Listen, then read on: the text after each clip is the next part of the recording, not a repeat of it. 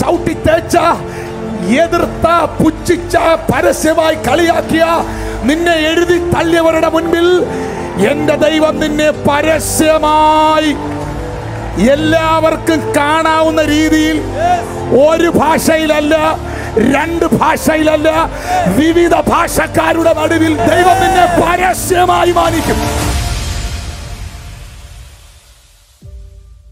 യോഹന്നാൻ പത്തൊൻപതിന്റെ പത്തൊൻപത് മുതൽ വായിച്ചു. പീലാത്തോസ് ഒരു മേലെഴുത്ത് എഴുതി. ക്രൂശിന്മേൽ പതിപ്പിച്ചു.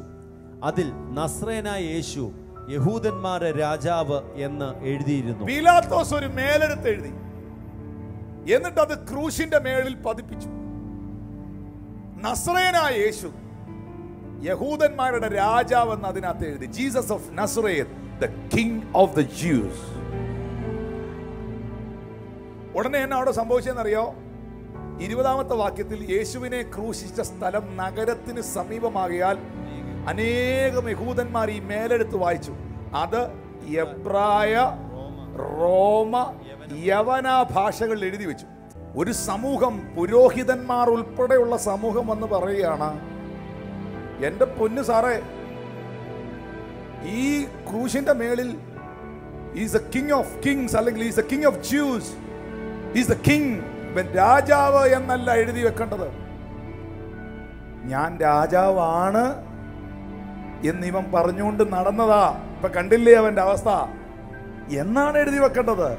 പീലാത്തോസ് പറഞ്ഞു അങ്ങനെ എനിക്ക് എഴുതാൻ പറ്റിയില്ല സാറേ. എന്നാ പിന്നെ മായിക്ക്? അയ്യോ അതെനിക്ക് ഇനി മായ്ക്കാനും പറ്റിയില്ല. ഞാൻ എഴുതിയത് എഴുതിയതാന്ന് പറഞ്ഞു.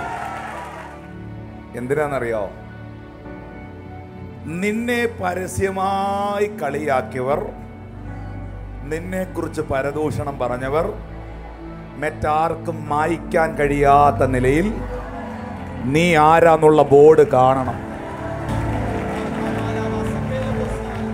സാറേ എന്നാ ഇത്? എബ്രായ ഭാഷ മാത്രം എഴുതിയാൽ പോലായിരുന്നു ഇത് യവന ഭാഷയിലും എബ്രായ ഭാഷയിലും അരാമ്യ ഭാഷയിലും എല്ലാ ലാംഗ്വേജിലൂടെ എഴുതി വെക്കണമായിരുന്നു. അന്ന് ആ പട്ടണത്തിൽ ഈ മൂന്ന് ഭാഷക്കാരെ ഉള്ളൂ. യവനക്കാരും എബ്രായക്കാരും റോമൻകാരും ഇവരാണ് ആ പട്ടണം മുഴുവനുള്ളത്. എന്ന് പറഞ്ഞാൽ ഒരുത്തരും തെറ്റരുത്. എല്ലാവരും അറിയണം. ഒരുത്തന് പോലും ഒഴിവില്ലാതെ ഞാൻ പ്രവചിക്കുന്നു ഒരുത്തൻ നിന്നെ എതിർത്ത ഒരുത്തന് പോലും ഒഴിവില്ലാതെ നീ ആരാന്ന് ദൈവം കാണിക്കും.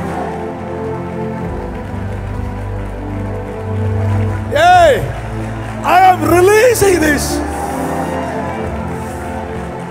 ഒരുത്തന് പോലും ഒഴിവില്ലാതെ എന്റെ ദൈവം നീ ആരാന്ന് കാണിക്കും നിന്നെ ചവിട്ടി തേച്ച എതിർത്ത പുച്ഛിച്ച പരസ്യമായി കളിയാക്കിയ നിന്നെ എഴുതി തള്ളിയവരുടെ മുൻപിൽ എന്റെ ദൈവം നിന്നെ പരസ്യമായി എല്ലാവർക്കും കാണാവുന്ന രീതിയിൽ ഒരു ഭാഷയിലല്ല രണ്ട് ഭാഷയിലല്ല വിവിധ ഭാഷക്കാരുടെ നടുവിൽ നിന്നെ പരസ്യമായി കളിയാക്കിയവരുടെ മുൻപിൽ ദൈവം നിന്നെ പരസ്യമായി മാനിക്കും.